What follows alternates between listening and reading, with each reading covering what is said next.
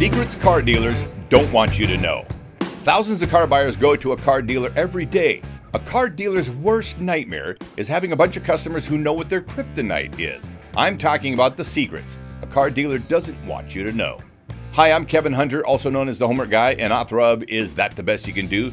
This video brought to you by YouTube's best channel on car buying and selling, courtesy of the Homework Guy team and our super high intensity training for car buyers. If you like the Homework Guy videos and want to sport one of our cool shirts or hoodies like this one, well, check the merch shelf down below. Have you ever been curious why it can be impossible to buy a car at a dealership without being lied to? Well, here's an explanation in one short statement.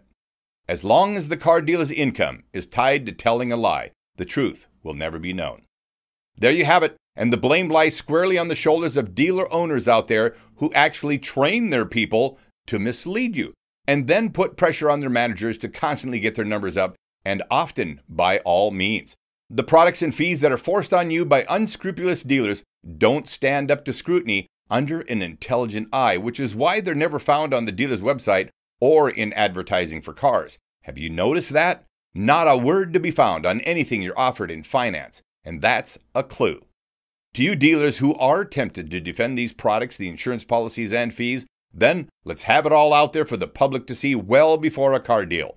Get it on your website, get it on the ads, blast it out on social media, make it a part of the public discussion well before finance, and then I'll believe you that you're not trying to rip people off. Today, we're going to talk about behind the scenes stuff and why it's non public stuff that you have to be aware of. These are the real secrets of car dealers. We've been teaching car dealer secrets in different ways here on the Homework Guy channel, so you may have heard this stuff in different forms before, but today we're going to put it all together in one compact message. Back in a moment, right after this short message from the Homework Guy team. If you're a first timer on the Homework Guy channel, consider subscribing and leaving us a comment below. Add hashtag the Homework Guy if you'd like a response directly from Kevin or one of the Homework Guy staff members. We're always glad to help our loyal followers, and the best part is, there's no charge. You can also email the team at info at thehomeworkguy.com with a specific question, or if you'd like a free contract review, just black out your personal information and send it to us. We'd love to hear from you. Just be aware that we do get a lot of requests, so just be patient while you wait for a response. Back to you, Kevin. Of all the secrets car dealers don't want you to know, how they make money tops the list. And then there's a big mistake that many of you make that plays right into their hands. You see, many of you think that the big wad of cash the dealer is going to make off you has to do with the price of the car. And dealers absolutely love you for thinking that. I've already pointed out to you that there are products and fees that the dealer keeps private. So think carefully about what they put out there for the whole world to see and why car dealers want you to focus on it. The information that is most public of anything car dealers advertise is actually the price of the car. Price is not a secret, which should be a clue to every car buyer. Car prices right out in the open for the whole world to see by literally every car listed by every car dealer everywhere. This isn't a public confession of any sort. In fact, they not only want you to know what the price is, they want you to focus on it, obsess over it, negotiate it, and then naturally, because you think you're done, you let your guard down when you're satisfied with price. You thought you were winning at that point because you had the price you wanted, and when in fact it's the beginning of a lot of losing for most of you. You must know how a car dealer makes money. Let's recap because price is so ingrained into car buyer thinking that some of you have already forgotten what I just said. Every bit of dealer advertising, car price or 0% financing, is designed to get you to look at the things that are small parts of dealer profits. The dealer taught you to focus on it through advertising and promotions. It's the small stuff that you have your eye on when you arrive at the dealership, the small stuff everyone knows about, and then you breathe a sigh of relief when all the small stuff is cool. Do you follow me? All right. Secret number one. Let's discuss how and where a car dealer is making that huge wad of cash. Here we go. A. The sale of the car, which is price, is typically 20 to 30% of their total profits in a car deal. That's it. On average, it's only a quarter of the money the dealer is going to make off you. It's lower on new cars and a bit higher on used cars, but that is the average. The secret you must know is that 70 to 80% of the money comes from four other places finance, accessories, parts department, service. These last four departments combine for the biggest chunk of cash, and the biggest of these four per car is definitely finance. The finance office, where, if you happen to land at a bad car dealer, will be the home of the most unscrupulous person in the entire dealership. This leads up to secret number two. Car dealers have long wanted buyers to believe that once you sign that contract, you're stuck. There's no turning back. Not true. This is one of the biggest secrets they do not want you to know.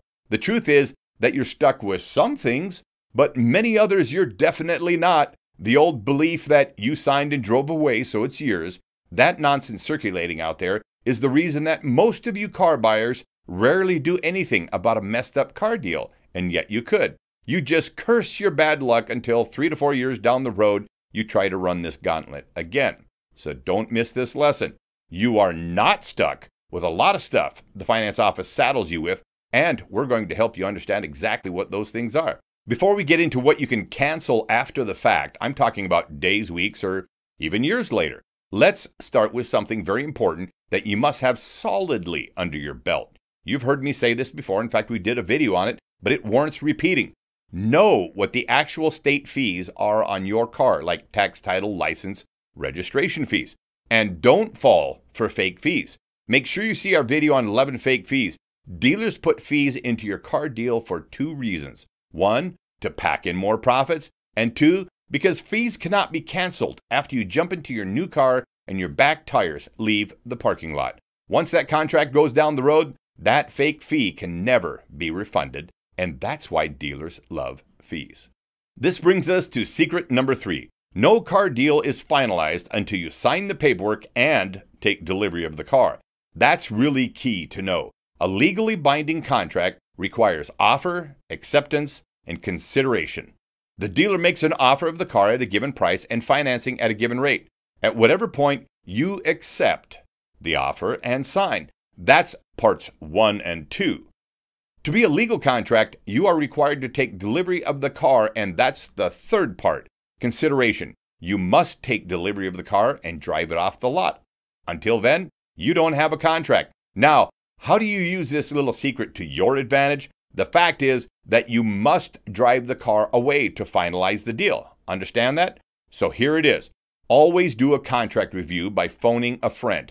Don't ever forget this. Do a contract review with the phone a friend method before you leave the dealership. The best time and place to fix your car deal if you did indeed screw up in finance is to use the phone a friend technique either while you're still in finance or before you leave the dealership. You have the paperwork in your hand. Don't get in your car and drive away. Not yet.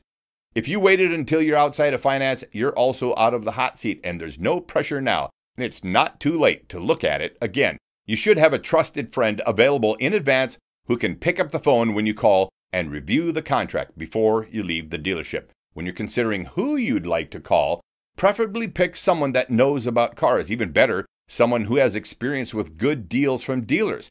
Having someone else help you look over the contract who is objective and has an eye for detail can make all the difference in the world. They can help you turn a bad deal into a much better car deal. Take a picture of the documents you signed and send them to your friend. Then call them and comb it over. Do this before you leave the dealership. That's really key. Do it before you leave the dealership.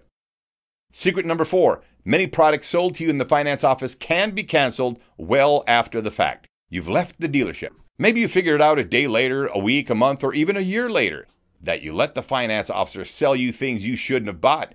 Get back to the dealer and cancel this stuff right now. Here's a partial list of things you can cancel well after the fact, no matter what contract you signed. They are known as product cancellations or chargebacks. Number one, insurance or coverage of any kind can be canceled at any time for any reason. This includes gap insurance, tire and wheel protection, disability protection, life insurance, key fob insurance, glass protection, excessive wear and tear protection, maybe even stupidity insurance, Aww. just to name a few. If it sounds like insurance, it can be canceled. Number two, extended warranties, prepaid maintenance plans, service plans of any kind. All of them can be canceled for a full or partial refund. How much money you get back depends on how long after the sale you waited to cancel the stuff. It's the next day, the next week, or next month, you'll get all of your money. But several months or a year later, you'll get a prorated amount. Two or three years later, there's still some money coming back if you didn't use it. Now, go get it. It's your money. Third are theft protection programs, especially window etching, VTR, or anything that involves numbers etched on your glass. Cancel it. This is purely a junk policy, no matter what they tell you. Make it go away. Go get your money back. You generally can't cancel things like paint protection or fabric protection because somebody sprayed that stuff on the exterior of your car or on your seats. If you get back to the dealer immediately, they are likely to offer you a few dollars off these products, but you generally can't back out of them after the fact.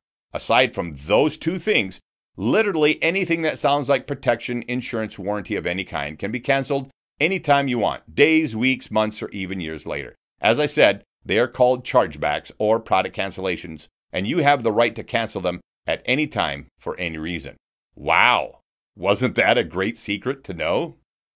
Secret number five you can refinance your car loan anytime you want. You are not stuck with the loan the car dealer put you in. You see, car loan refinancing doesn't have closing costs like home mortgages, which means you can and should refinance a car deal at any time that you think the rate or the term isn't what you expected. There's no cost to do this. There's a little caveat you should know, however. You need to get rid of any unneeded junk from the loan before you refinance. And if you're asking another bank to roll a bunch of fat into that loan that has nothing to do with the value of the vehicle, that could be a little tough. So fix that first, as pointed out in tip number four, and then refinance the loan with your own bank. Secret number six early loan payoff. Don't like the loan terms you got or just wanted to pay cash? Well, pay it off early. Many finance officers will tell you that you should keep the loan at least 90 days or more, but that's mostly bull. In almost every case, you can send the money in and get that monkey off your back. Check for fine print that addresses early termination or potential penalty clauses, but for the most part, you're good to go. Pay it off and drive your new or used vehicle worry free. As our return viewers know, there are tons of videos here on the Homework Guy channel that you can learn from. Some of you post questions in the comment sections that we addressed on videos quite some time ago on the channel. No problem doing that, but make sure you check out all of our great videos. We've done a lot of work to help you out. Use the resources that we've put out there for you.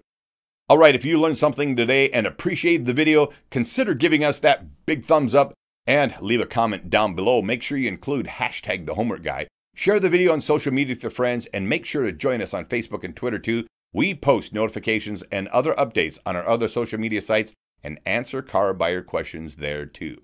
If you love what we do and want to say thanks, well, here are the links for PayPal and Cash App showing up on the screen, and they're very easy to find in the description box down below.